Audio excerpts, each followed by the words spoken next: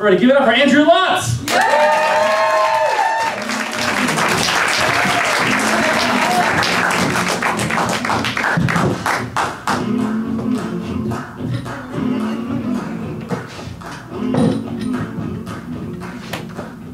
I grew up in Iowa. Apologies. Um, uh, the thing about Iowa is it's a good 20 to 30 years behind everywhere else in terms of popular culture, in terms of fashion. If you want to understand why the US is so behind in global warming policy, it's because you let the people of Iowa vote first in the primaries. we want a president who can solve who shot JR. Millennials ask your parents about that one. Um, but Iowa uh, had one thing we did way before everybody else. We were hit with one magical thing. Uh, you know those buildings that people sort of upcycle into trendy spots, these industrial buildings in the Rust Belt? Right? You know, this is a this is a glassworks that has you know uh, corporate offices and and you know uh, uh, tech and a gallery eating. This is a, a, bottling plant that has an indoor cycling track, Thai restaurant, 17 yoga studios, hot, cold, medium, all those things. So Iowa, in the 1980s, we did that first. The first one, I think. I'll pretend it was. It was the first one I saw in the 1980s.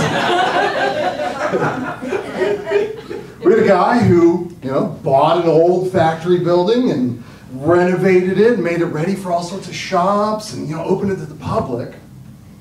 The only drawback was the only building in Iowa was a meat packing facility. It was a slaughterhouse. And this guy leaned into the theme. you know, the gate, you walk to the gate. It was all welded together meat hooks. You pass through it. Um, you know how other places they've got like, oh, this is the mementos of the industry that used to be here. They had that too. I remember the one photo, it was just a hand. All these little orbs in it. You look at the like the caption next to it, pig pituitary glands. Oh. So this is where my parents took us for birthdays. uh,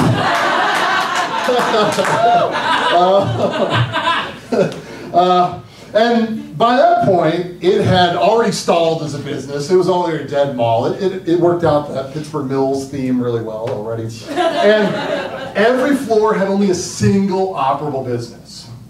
So you'd walk in through the meat, meat hook curtain, and you know, the first floor, there'd be this track on the ceiling where they'd sort of slide those slabs of beef around.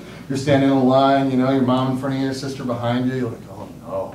I got really creepy as a kid. Like I got very afraid to go here. The first floor had a barber shop. I remember the big poster of possible haircuts, both bowl and buzz. Um, and this is like the 19, you know, this 20 years behind. So we're talking 1960s sort of trends here, 1984. And so it looked like, you know, the North Korean sanctioned haircuts map. I remember standing there looking at this like chart of haircuts and on this side cuts of meat and this is how we slice you. Poor child, I'm getting afraid. Uh, you take an elevator from floor to floor, and you climb the elevator. It was rickety, an old industrial elevator, and the floor had a big grate to catch all the effluvia that had fallen out of the carcasses. Like, cool. Go up, and of course, this elevator was old, and so it opened at every single floor.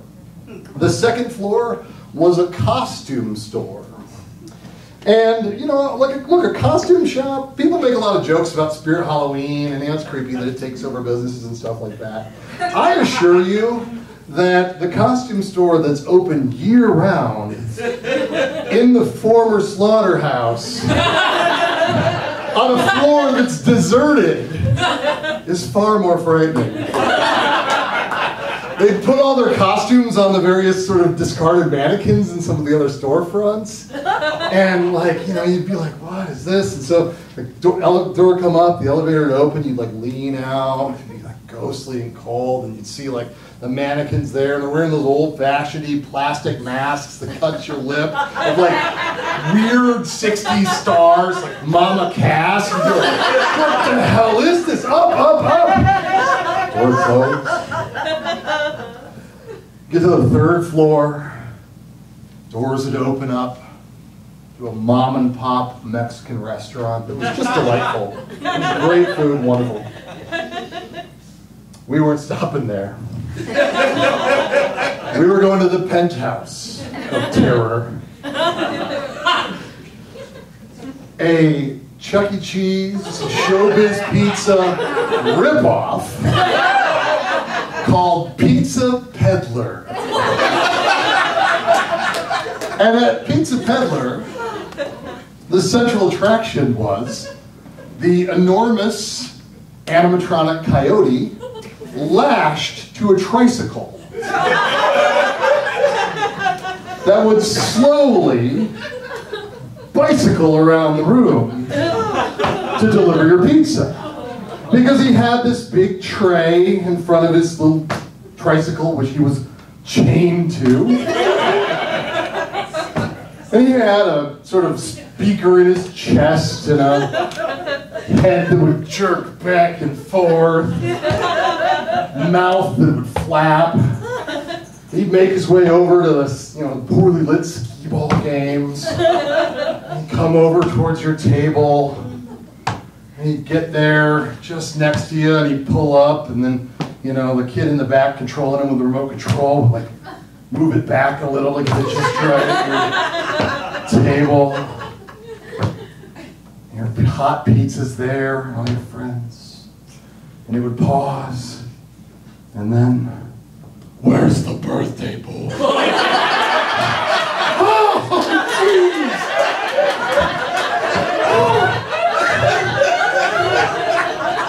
And my parents just laughed.